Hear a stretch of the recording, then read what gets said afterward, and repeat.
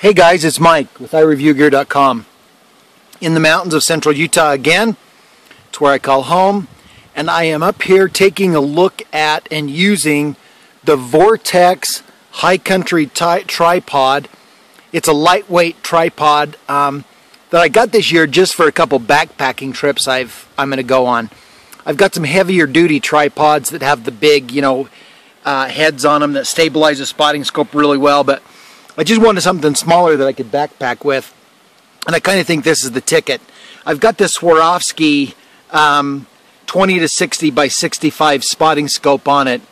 And it seems to be about right for it. Now, I don't think this would be a tripod that you're going to um, go set up somewhere and do hours and hours of glassing uh, and be, you know, super stable with it but certainly doing that when you're backpacked in, this thing is ideal for it. And I want to kind of go over some of the features with you.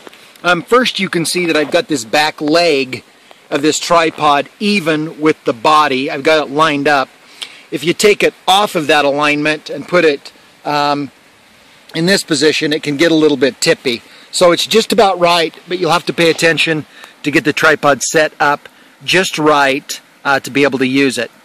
You can see that it's got a ball head right here. Hopefully you can see that, which makes this thing really easy to adjust. I'm going to put up a little higher in a minute, and you can see how fluid it is to uh, scan with that scope, with that ball head.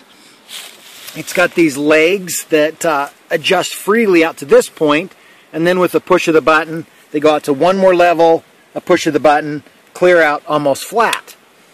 Now the other cool feature about this tripod, it's got this center post that you can use for stability, right? So if you raise this up higher, it's got a hook on the bottom, you can put your backpack on, and then a little bit of wind really stabilize it with that weight. Also, though, it unscrews, so you can take the centerpiece off, lay these legs clear out flat, as I'm going to do right now. So I've got that center post screwed off. You can see it screws off real easy. And those legs laid clear out and with that, that thing is very low to the ground because that center column disappears. And now let's say, for instance, I was bench shooting, um, wanted it down really low. You have the ability to take this tripod down super low. Or if you're laying down and spotting or just sitting on your butt or whatever, you can take that down super low, uh, which I think is a great feature. Um, let me point out this cool thing also, if you can see it. It's kind of weird sun. But you can see right here that uh, the way you attach the scope with a quick attach is with a screw on. So you loosen this right here, you just loosen that up, and then the uh, quick disconnect slides forward and slides backwards. Also, to allow you to move it forward and back and get a little bit better angle or a little bit better balance, um, it's got this pin on the side. So once you unloosen it, you can slide it back, slide it forward either direction, it still won't come clear out until you depress this button and release it. So that's a pretty cool feature um, on this uh, tripod as well, how it quick connects. So this little sucker's really loaded up with some features. There's that ball head that I mentioned earlier, right in there that you can see. Uh, so it's just got a super nice ball head that's really fluid. You adjust it just by loosening this a little bit, and then you can easily adjust it with the with just your hand. So I'm going to try that right now. I've got that um, set up. I just loosen this a teeny bit.